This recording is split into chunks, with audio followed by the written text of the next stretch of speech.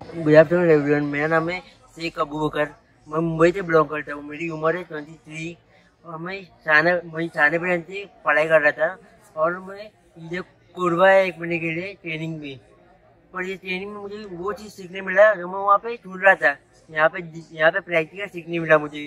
How to use active user how to use company page how to use work height सब चीज़ सीखने मिला, सब चीज़ देखने मिला। और अगर जो सर लोग मैम लोग हैं, सब सपोर्ट करते हैं बच्चों को इसके लिए। Thank you for all